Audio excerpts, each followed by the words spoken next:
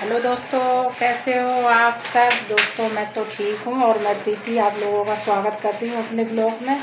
और आज मैं बनाने जा रही हूँ व्रत का साबुदाना। और दोस्तों, आज है नवरात्रि का चौथा दिन तो मैं साबुदाना बनाऊँगी। और जो भी हमारे ब्लॉग में नए हैं, वो सब्सक्राइब कर लें। और देखना आप लोग, हम कैसे बनाते हैं साबुदाना।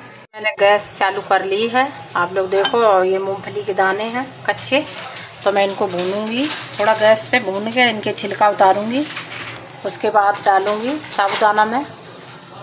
ये हमारे मूंगफली के दाने भुन के तैयार हो जाएँगे, तब मैं आपको दिखाऊँगी। ये दोस्तों मैंने डाल दिया, देखो मूंगफली के दाने कच्चे हैं। इनको भूनूँगी, लाल करूँगी, लाल करके तब इनके छिलका उतरेंगे। ये भुन जाएँगे, भुन के तैयार हो जाएँगे, तब मैं आपको दिखाऊँगी, आप लोग देखना। दोस्तों ये भुन के तैयार हो गए हैं। अब मैंने मैं इनके छिलका उतारूँगी। तो मैं आप लोग ये देखो दोस्तों ऐसे हो जाएँगे पूरा साफ़ हो जाएँगे। गए हैं कितने अच्छा देखो बुन गए हैं। अब मैं आप लोगों को दिखाऊँगी ये थोड़ा महीन करूँगी उसके बाद। ये दाने ऐसे हो गए हैं। इनमें मैंने पीसा है हमारी मिक्सी ठीक नहीं है इसलिए मैंने ऐसे फोड़ लिए हैं। और ये देखो हरी मिर्चा है दोस्तों ये और ये देखो साबुदाना हमारा कितना अच्छा खिल गया है फूल गया देखो। आप लोग भी ऐसे ही बनाना दोस्तों, एक दो घंटे पानी में रख के पानी निकाल देना इसका। फिर देखना कितने अच्छे फूल हैं। तो फिर अभी मैं बनाऊँगी तो आप लोगों को दिखाऊँगी दोस्तों।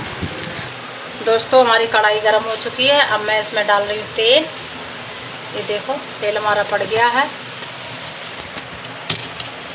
और ये वाली दोस्तों, आलू हैं, उबले हुए। वो मैं आपको दिखाना भूल गई दोस्तों। आप लोग देखो ये। आलू डालने से थोड़ा अच्छा होता है। ये देखो। ये है आलू और ये है हरी मिर्चा दोस्तों, ये वाली हरी मिर्चा। और ये डालूँगी सेंधा नमक। ये सेंधा नमक है।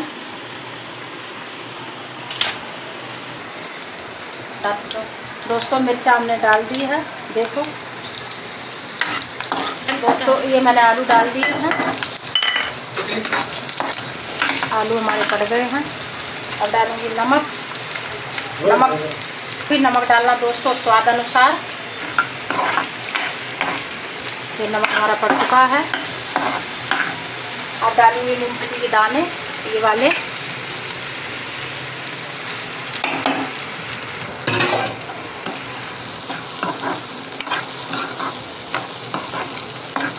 तो मूँगफली के दाने दोस्तों डाल रही हूँ और तेल थोड़ा ज़्यादा ही डालना पड़ता है कि साबुदाना फिर हमारा अच्छे से उसमें भुनेगा नहीं। साबुदाना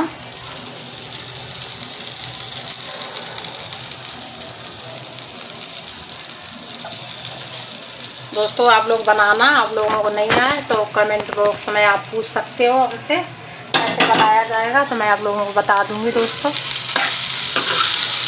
ये देखो, हमारी रेसिपी बनकर तैयार हुई जा रही है।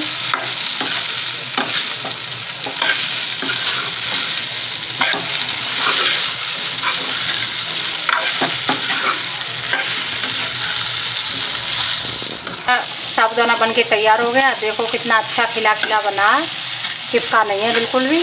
पूरा बहुत अच्छा बन गया है। तो मैं आप लोगों को हमारी रेसिपी तैयार हो गई। और दोस्तों, देखना हमारा ब्लॉग दोस्तों, हमारी रेसिपी बन के तैयार हो गई है। और देखो आप लोग देखना। और जो भी, जिसे भी नहीं बनाना आता हो तो हमारे कमेंट बॉक्स में पूछ सकते हैं दोस्तों। और सब्सक्राइब कर लेना। और ब्लॉग पूरा देखना। अच्छा लगे तो लाइक कर लेना।